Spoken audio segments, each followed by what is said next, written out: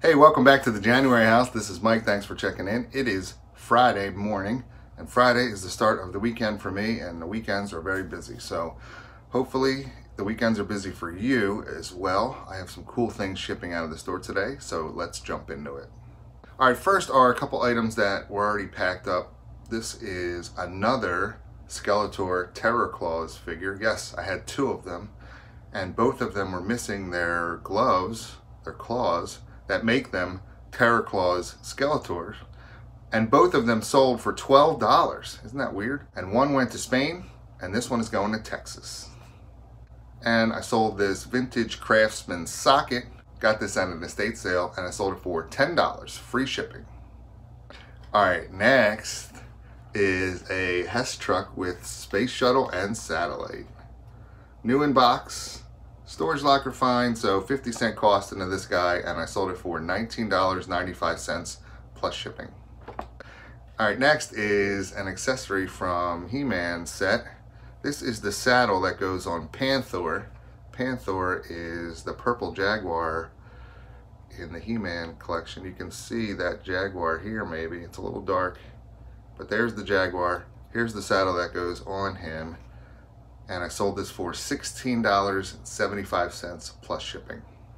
All right, next is a lot of vintage golf head covers. So I got this storage locker one time that had a number of old golf clubs in it and they were beat up and the grips were terrible and the brands weren't really valuable, but two of them had these cool leather um, golf head covers so I thought, well, maybe I can sell these, and I put them in the store. They sat for a long time, but I finally sold them $15 plus shipping.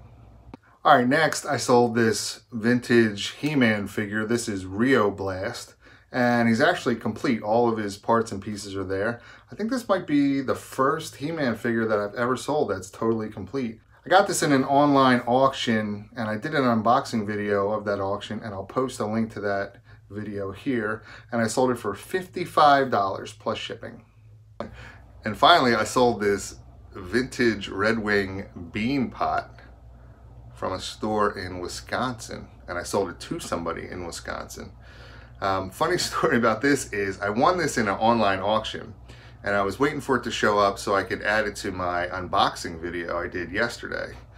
But the other two items that I actually showed in that video were sitting here for a while and I wanted to get them up and listed. So I thought, well, I'm just gonna make a video showing these two boxes as my unboxing video. And sure enough, as soon as I published it and sent it out, this showed up in the mail. So then I thought, well, I'll just add this footage of me unboxing this bean pot to the video you're watching right now, like in the beginning. I thought I'd start off and say, whoops, I forgot one thing to unbox. Here it is, da da da da da. But I ended up selling it in less than one day. I paid up for this. I bought it on an online auction, but I paid $40 and I sold it for $130 plus shipping. All right, so that's all I have for today. Hopefully you enjoyed the video. If you did, please hit the thumbs up button. Leave me a message down below and don't forget to subscribe to my channel for more great videos. Thanks.